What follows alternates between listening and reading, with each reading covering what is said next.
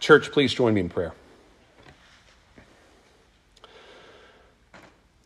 Almighty and gracious God, we have begun this season of Lent as we reflect upon our sin that made the death of your Son, Jesus Christ, necessary.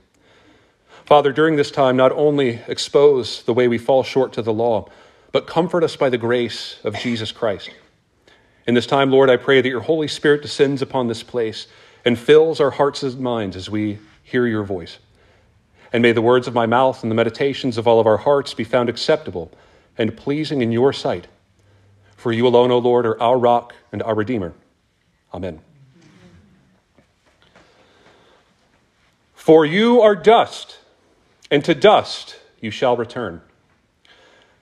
These words should sound familiar to those of us who attended our Ash Wednesday service this past week, because these are the words we hear every year as we receive the sign of ashes on our foreheads. They are the fateful words that, as a result of humanity's sin, sealed our fate. That no matter how wealthy or poor, or famous or unknown, or righteous or unrighteous we are, we will all face death and our bodies will return to the dust.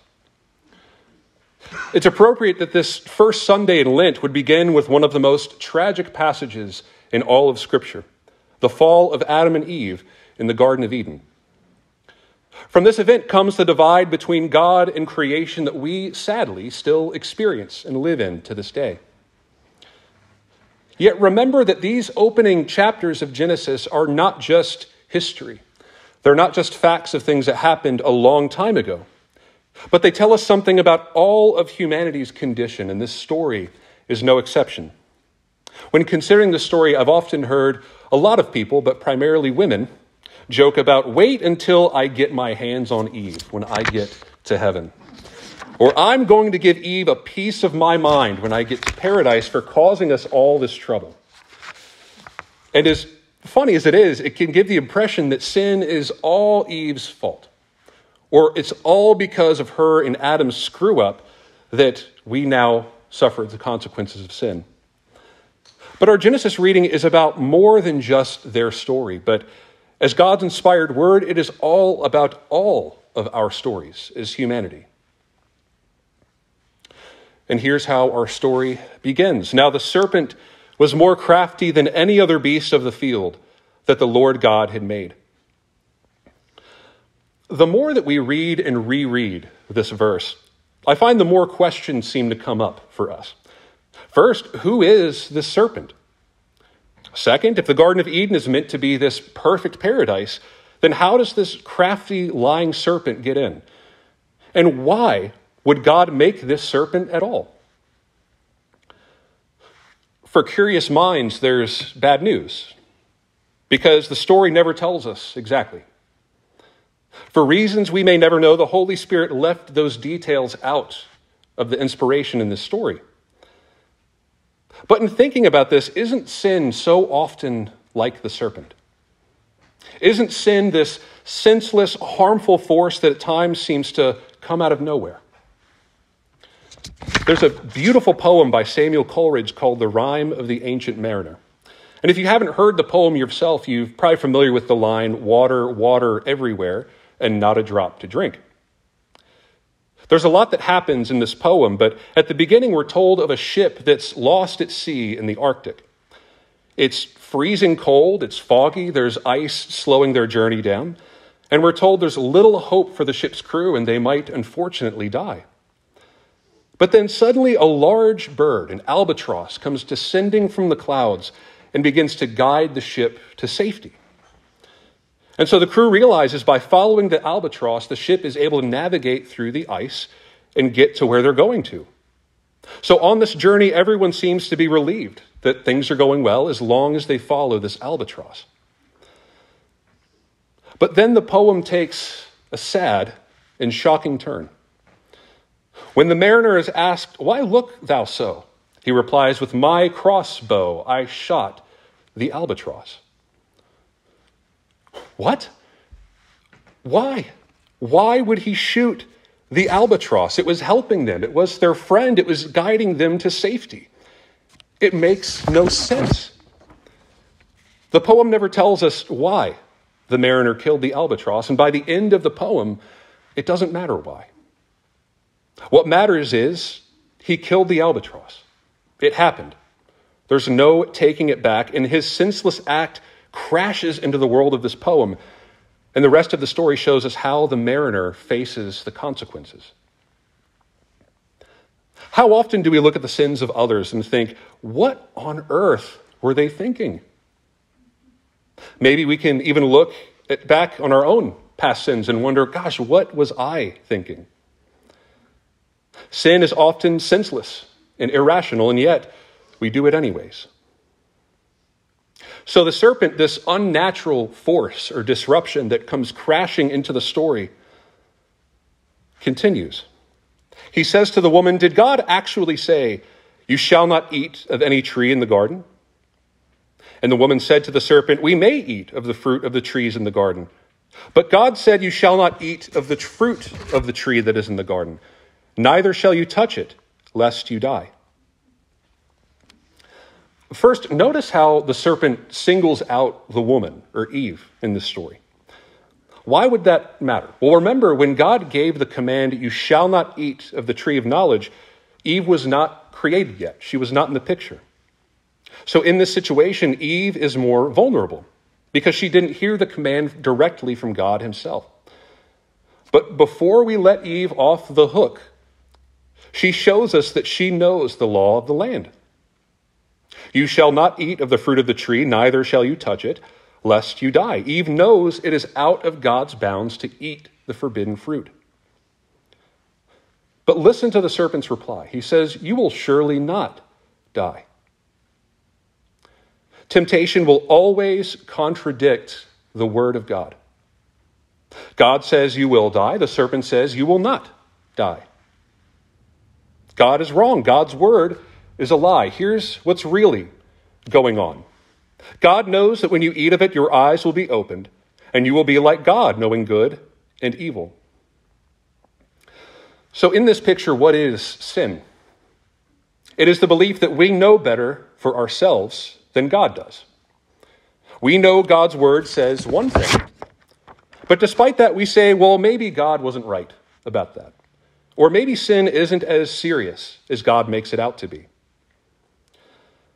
So when the woman saw that the tree was good for food, and that it was a delight to the eyes, and that the tree was to be desired to make one wise, she took of its fruit and ate.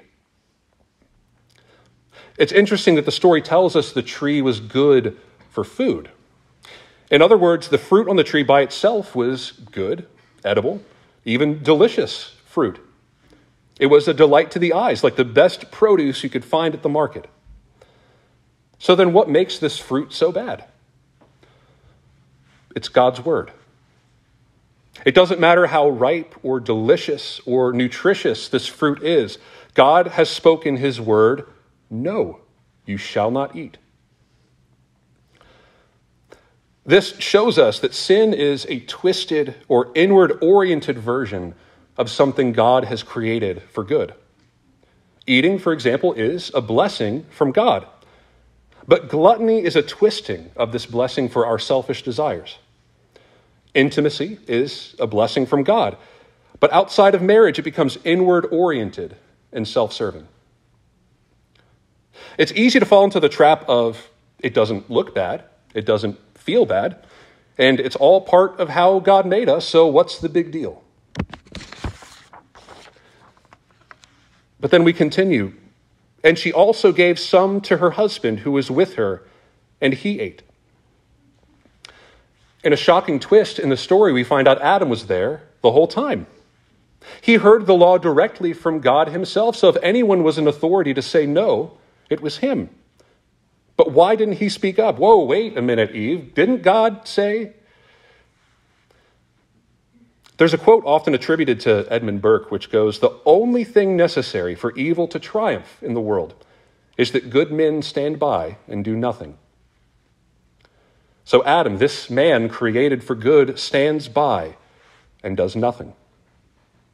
He fails in his role as man and as husband and falls under the same temptation as Eve. Then the eyes of both were opened, and they knew that they were naked and they sewed fig leaves together and made themselves loincloths. Before this, we're told that humanity lived in the garden with God naked and unashamed. Above all else, this means that between God and humanity, there was absolutely nothing to hide. There was no sin, there was no embarrassment or shame, but humanity could live in complete freedom with God. But with sin comes shame. With sin comes embarrassment, insecurity. So the symbol of nakedness is now a threat to humanity. We can't be completely free with God because look at who I am. Look at what I've done. And they heard the sound of the Lord God walking in the garden in the cool of day. And the man and his wife hid themselves from the presence of the Lord God among the trees of the garden. Here, the cool of day means that it was evening, which tells us when humanity fell, there was darkness over the garden. Remember our previous message about salt and light. And with sin comes this spiritual darkness that covers their world. So, in this moment of shame and despair, where should Adam and Eve turn for safety? To God, to their Creator who loves them and wants to have a relationship with them. But what do they do instead? They try to find safety in the darkness, in the shadows. But the Lord God called to the man and said to him, Where are you? Up until this point, we've learned that God is a speaking God. His voice has the power to make things come about. Let there be light, and there's light. So here, the same voice God uses to speak creation into being uses his voice to call out to his precious creation, Where are you? And Adam said, I heard the sound of you in the garden, and I was afraid because I was naked, and I hid myself. God said, Who told you that you were naked? Have you eaten of the tree of which I commanded you not to eat? The man said, The woman whom you gave to be with me, she gave me the fruit of the tree, and I ate. Just in these few verses, we learn so much about how sin affects our relationships with one another as human beings. If you keep reading from this point forward in the Bible, Adam and Eve never speak a single word to each other again. Before sin, it was bone of my bone and flesh of my flesh. But with sin, we see blaming, finger pointing, criticizing, and ignoring. Sin not only separates us from God, but it separates us from one another. Then the Lord said to the woman, What is this that you have done? The woman said, The serpent deceived me, and I ate. So Adam points to Eve, and Eve, in like turn, points to the serpent. Nobody is willing to own up to their actions completely. But this marks another important point.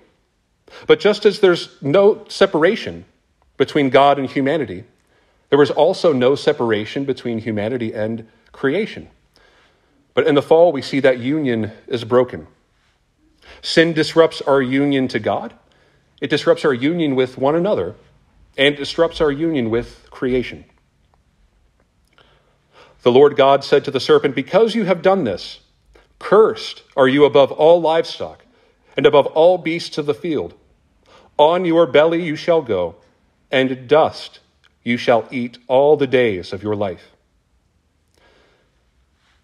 Notice where the serpent is cursed to. On the belly you shall go, and dust you shall eat all the days of your life.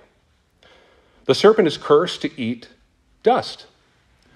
And where again are we cursed to as humanity? For you are dust, and to dust you shall return. So, what do we make of this? The serpent eats us. Apart from God, we are cursed to be ruled over and consumed by our sin. Like Adam and Eve, we know who God calls us to be and what he calls us to do. We just read the Ten Commandments, and many of us have heard them day in and day out for our entire lives. But does knowing the Ten Commandments by heart always prevent us from breaking them? Adam and Eve knew the law, but they broke it anyways. And such is the case each time we sin against God, against each other, and against creation. But let's not overlook the final verse of this story. And the Lord God made for Adam and for his wife garments of skin and clothed them. In another strange twist in the story, after declaring the consequences of humanity's sin, God covers their shame, He covers their nakedness. And not only that, but Adam and Eve are not killed that day. Instead, God kills an animal and uses its skin to cover Adam and Eve. This is the first instance of death that we see in the Bible.